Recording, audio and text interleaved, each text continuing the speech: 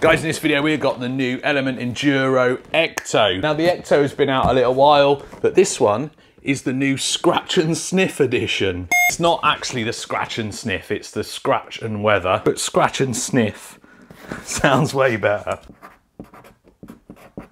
There we go. It's the Ecto Black Trail Truck Scratch and Sniff edition. So I'm getting to the point where you could possibly call me an Element fanboy, I reckon. I've had a few. I've also used the builder's kits for two builds, I think. One of them being a banana for Matt's off-road recovery.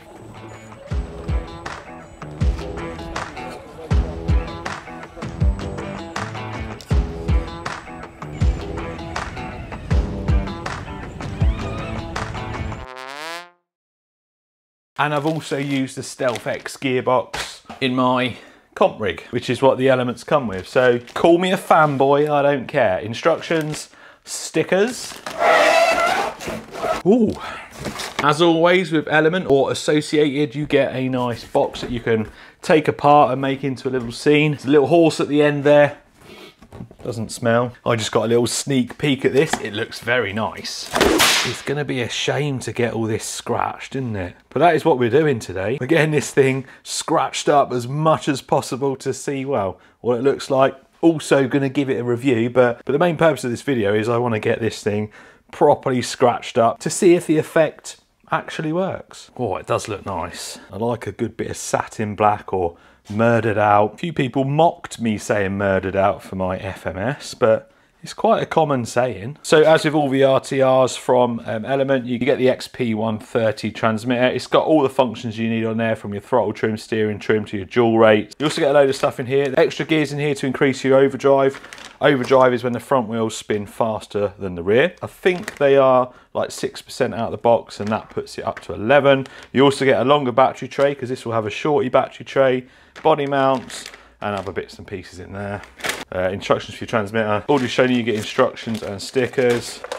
And then the truck. The normal one's yellow. This is the new um, this is the new colour that, like I said, you scratch it and it goes like an orangey colour underneath. And it is very nice looking. Alloy bodied oil shocks there feel really nice. Trailing arms at the back with a sway bar. That's what I like about these. They've got the trailing arms set up at the rear. We'll have a closer look at that in a minute. Clear windows, but no interior in there. Little fake winch at the front. Nice little comp style bumper there. The body's trimmed as well. Again, like a like a comp crawler there, giving you some nice clearance when it's flexing and obviously when you're over rocks and stuff, it's gonna give you a bit of clearance. They always feel nice out of the box. Just in case you're wondering, it doesn't really smell and that is what colour is underneath. It's obviously sprayed like this oxide red colour underneath and then it's got that satin black that's sprayed over the top. So when you catch it on rocks and sharp stuff, it'll take little bits of that paint off and then it's going to end up showing through with that red oxide colour, giving it a nice weathered look, hopefully, or it might just look a mess. Underneath, we've got that infamous Stealth X gearbox. Very good transmission. Lots of people use this in their comp rigs. Lots of people recommend the Stealth X. It runs really quiet, it runs really smooth, and like I mentioned, it's got adjustable overdrive. You've got a five slot 550 Reedy motor there, nice brushed motors on these as well. Then the ESC will take 2S and 3S, 7.4 volt BEC on them. In my opinion, the best ready to runs you can get really. Nice and smooth straight out the box. Not like a high end smooth, but for an RTR, really, really good. 15 kilo metal gear servo, small shorty battery tray. Like I said, there's a longer one in there if you want to put full size batteries in. Already showing the adjustable oil shocks. There's your rear trailing arms with your sway bar. It just looks really nice. Can't remember what that's called. Gate Gatekeeper, I think. You can get a truck called the Gatekeeper, but I'm sure that's called I'm sure that's called Gatekeeper. Three links with a panhard bar at the front. Your steering link is behind. That gives you a little bit more clearance at the front. On a lot of crawlers, it'll sit across the front there and it can just get hung up on stuff. So Element always put it behind, which gives you that extra bit of clearance there. There's your steering link and then panhard bar behind it. Bearings all round and you've got UJs at the front. UJs tend to be a little bit tougher. These are beadlock wheels just have to undo the middle there and they come away. You've got little centre caps as well. They usually just twist off. There you go. General grabber tyres. Feel a nice soft compound. Telescopic plastic drive shafts. And just overall, a very nice crawler. So tomorrow I am off to East East Anglian Scale Trail. It's at a quarry. There's rocks and mud and dirt and sharp stuff everywhere. What a perfect opportunity not only to run this to see how it performs, but also give this body a good workout, which possibly I could do with as well. right then, let's get this thing scratched up.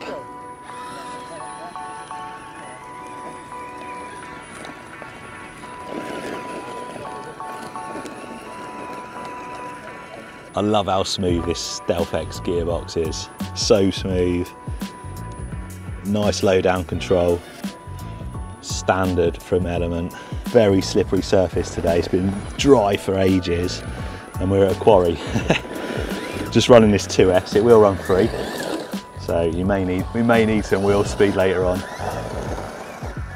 If you're gonna do it,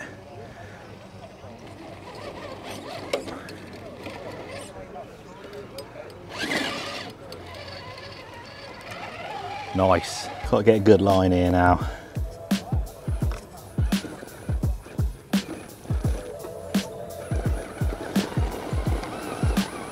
Then we do have the traction on these stock tyres. Come on. Whoa, there you go. First scratches. Come on, come on, come on. Let's go the easy way. Not going to do that bit. So far, it's had a couple of tumbles and I can't see any any orange coming through or red. We need to try harder. Oh, that was a mistake, wasn't it?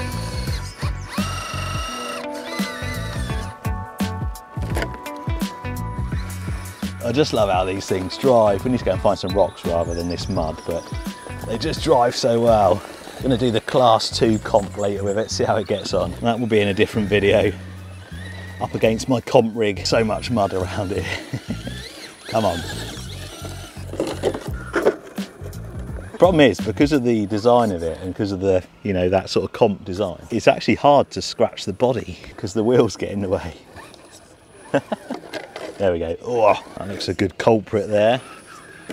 There we go. Come on.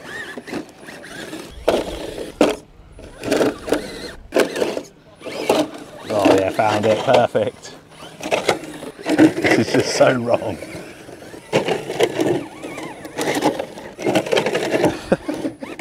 it's making me cringe. Oh, little bit coming through there. Yeah, this is quite tough paint on the outside.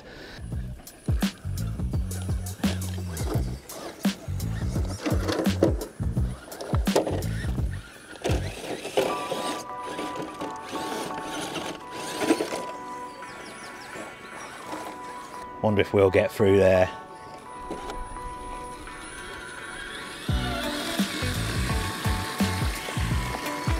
Come on.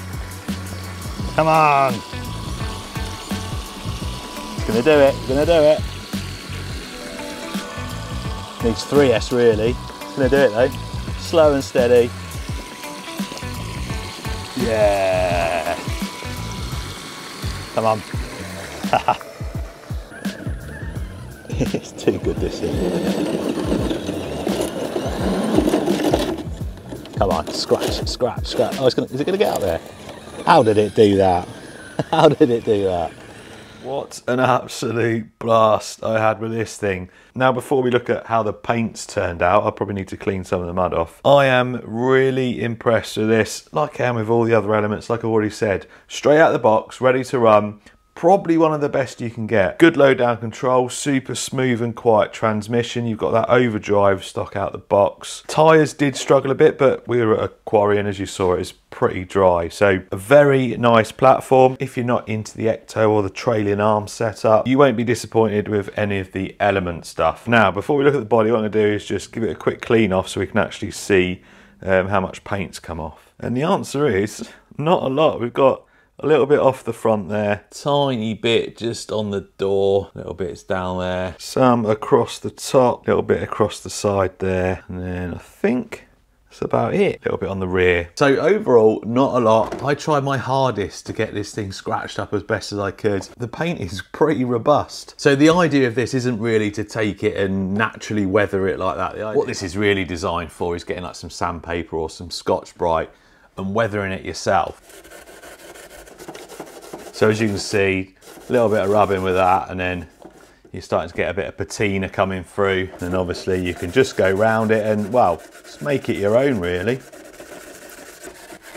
If you were to run this long term though i am sure this body would start to look really good with that natural weathering on it. But then you've also got the option if you don't want to wait you can go round and well you can do it yourself. go. Little bit of extra weathering on there i didn't go too crazy but I think it looks really good. I've also tinted the windows. I'm a fan of clear windows, but I'm also a fan of interiors. And this hasn't got an interior, so I've tinted the windows. They're not completely tinted. It looks so good, doesn't it? So that is the Element Ecto Scratch and Sniff, or Scratch and Weather, whichever you prefer. And if you want a chance of winning this actual truck, I'll leave links in the description. You'll get this as it comes in its box with all the bits and pieces and the stickers and the transmitter. No battery included, but it will be this actual truck and I'll throw some merch in as well. Links in the description. Cheers for watching.